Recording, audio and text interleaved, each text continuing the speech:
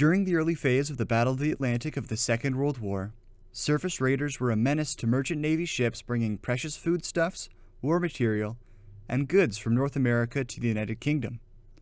Convoy HX 84 was on its United Kingdom bound run from Halifax when it encountered German pocket battleship Admiral Scheer over 700 nautical miles southwest of Iceland on November 5, 1940. A smokescreen was laid, and the convoy was ordered to scatter.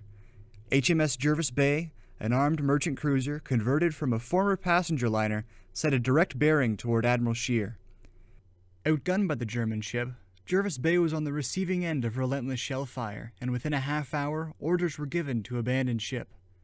Only 65 sailors of the crew of 190 survived the ordeal.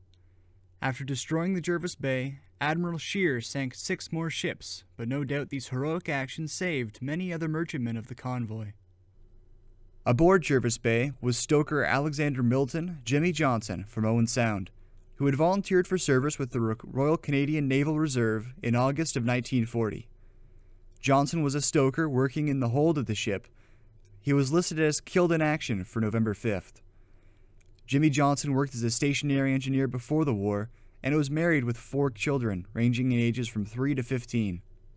A Victoria Cross was awarded to Captain Edward Stephen Fogarty Fegan of the Jervis Bay for this gallantry, and it has been suggested that every crew member shared in this honor.